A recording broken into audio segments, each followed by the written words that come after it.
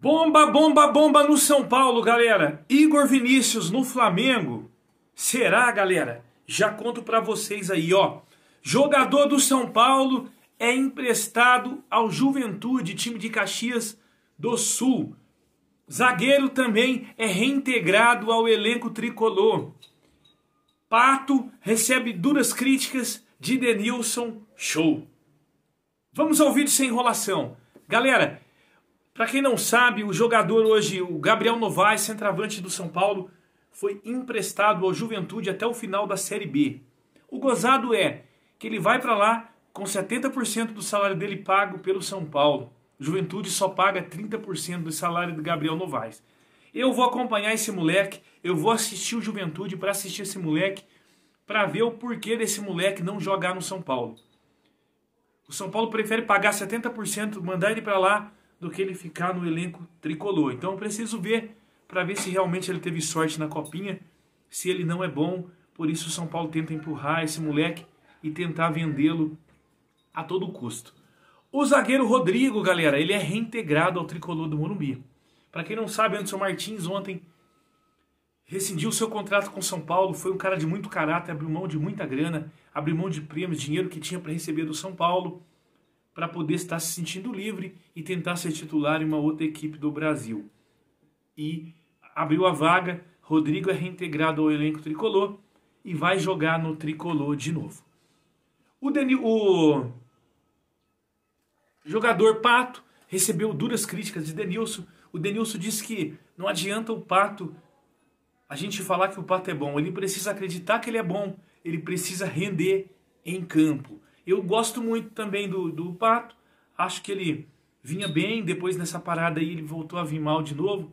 Precisa voltar a recuperar o lugar dele no São Paulo, para assim ser importante para o São Paulo, porque ganha um bom salário, precisa jogar bem para ajudar a torcida tricolor, para a gente voltar a poder apoiá-lo. E a gente pensa em títulos. Espero que Pato venha realmente trazer títulos ao tricolor e assim vir render muito ao São Paulo. A bomba, o que, que é, galera? Tá circulando essa notícia, acabou de sair, de que Igor Vinícius estaria interessado ao Flamengo. Para quem não sabe, o Flamengo está selando a venda de Rafinha. No seu último contrato, Rafinha está indo para um time da Grécia. Vai ser o seu último contrato em alto nível. O salário que Rafinha vai receber é três vezes maior do que Rafinha recebe no Flamengo. É uma proposta que interessa, ele já está de partida. E o Flamengo está em busca de um lateral direito. E segundo algumas informações, uma das informações seria que o Flamengo vinha, viria com tudo para cima de Igor Vinícius. Vamos aguardar para ver, mas as informações que eu tenho é de que não, que o Flamengo está vindo com tudo para cima de Fagner, o lateral do Corinthians. Mas também vamos aguardar, porque não podemos desmentir nada, nem afirmar nada nesse momento. Tudo que temos que fazer é aguardar e esperar para ver o que vai acontecer. Espero que não. Espero que Vinícius construa uma carreira sólida no tricolor, que venha a ser um dos grandes jogadores da história do São Paulo futuramente. Mas para isso ele precisa ficar. E eu espero que ele fique. Gostaria muito de saber a opinião de vocês aí, galera.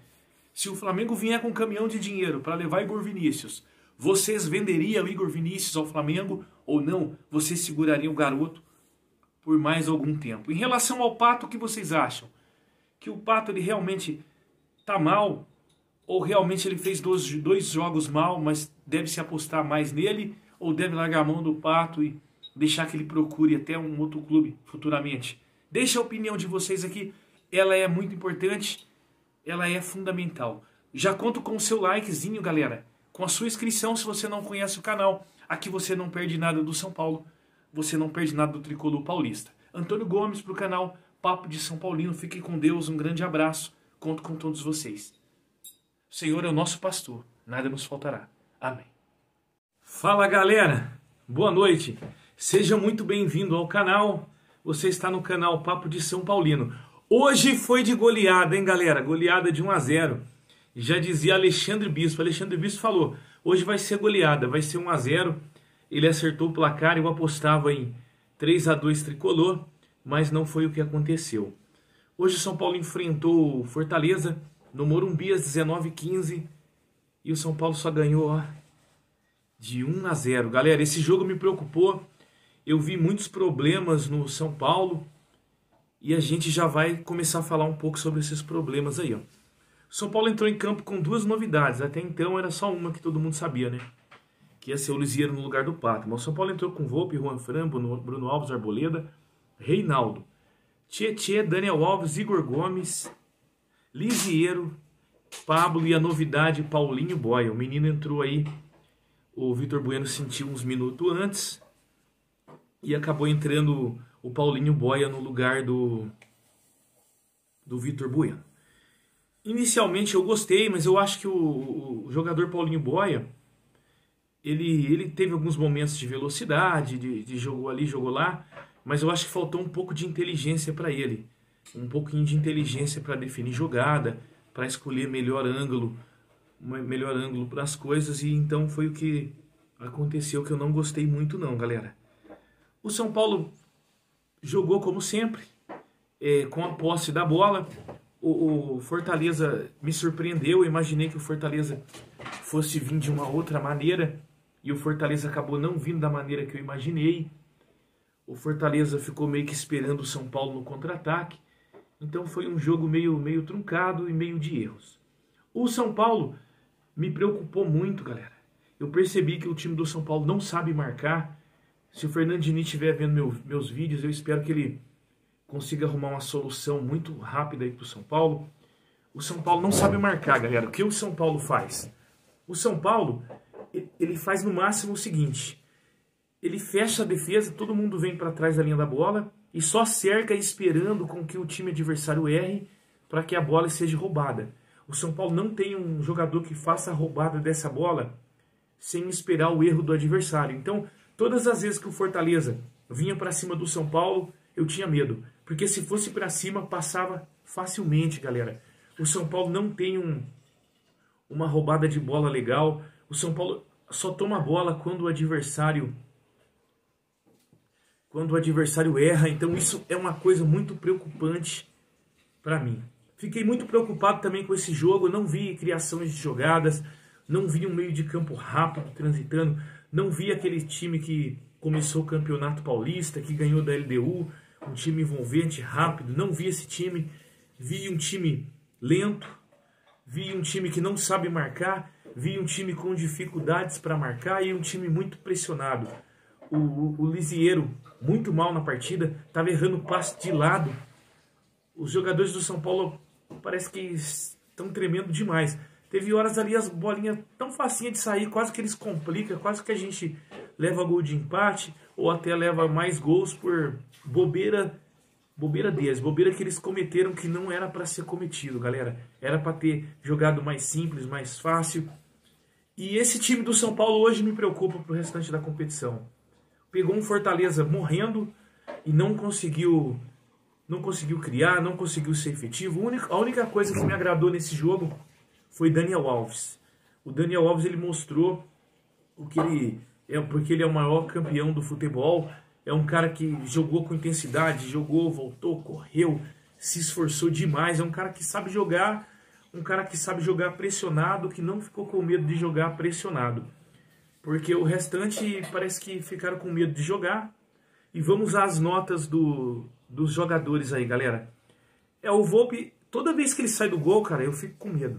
Me dá um frio na barriga tremendo. Ele saiu umas duas bolas lá, ele cata muito vento na saída de bola, gente. Volpe, você precisa melhorar isso aí, cara. Era um fundamento que você chegou no São Paulo com falha, passou-se um ano de São Paulo e você ainda continua com falha nesse fundamento. Tem que melhorar. Mas como fez algumas defesas aí, não teve, não, não sofreu gol, vai levar sete.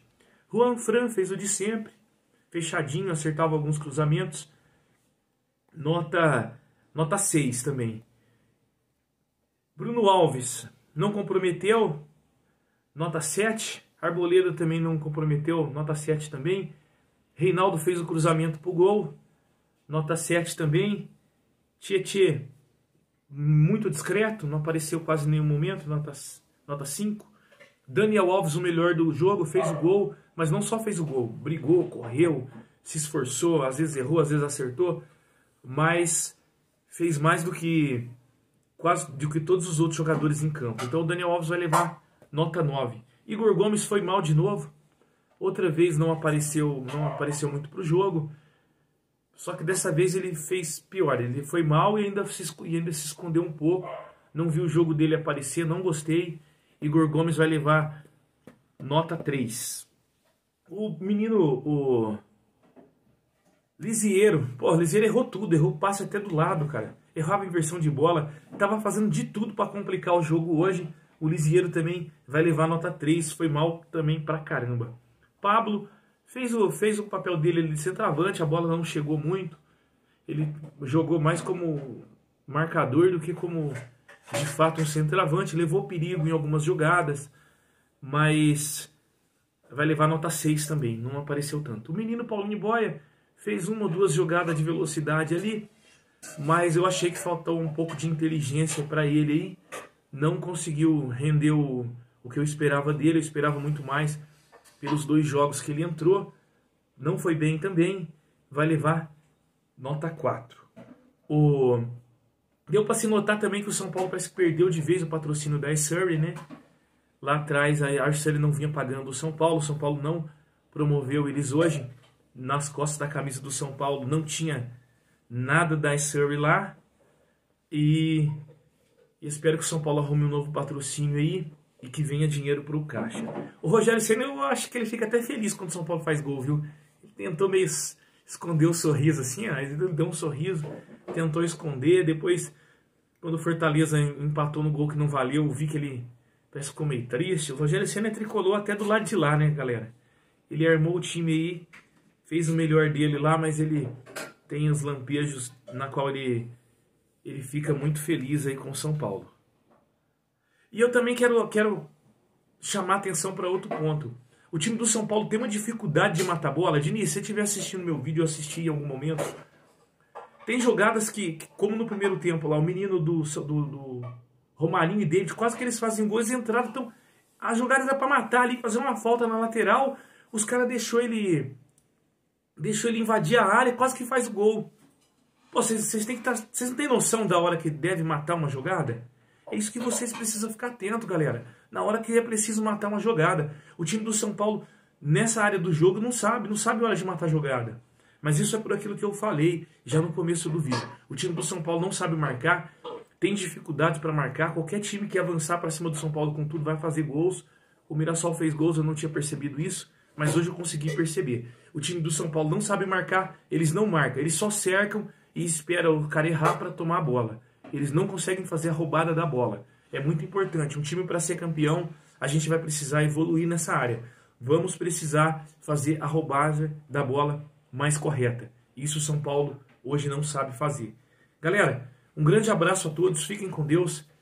Esse foi o vídeo de hoje. Deixe aqui nos comentários se vocês gostaram do vídeo o que vocês acharam do jogo do São Paulo hoje e a gente vai conversar aí. Na próxima live a gente conversa um pouco melhor e até os próximos vídeos aí, na qual amanhã tem o Visão Tricolor, vai ser no canal Visão Tricolor mesmo, só você digitar lá Visão Tricolor. A gente vai estar lá falando um pouco desse jogo de hoje aí. Espero, conto com vocês, espero que todos vocês estejam lá. Um grande abraço, fique com Deus. Antônio Gomes, pro Papo de São Paulino. O Senhor é o nosso pastor e nada nos faltará. Abraço, fiquem com Deus.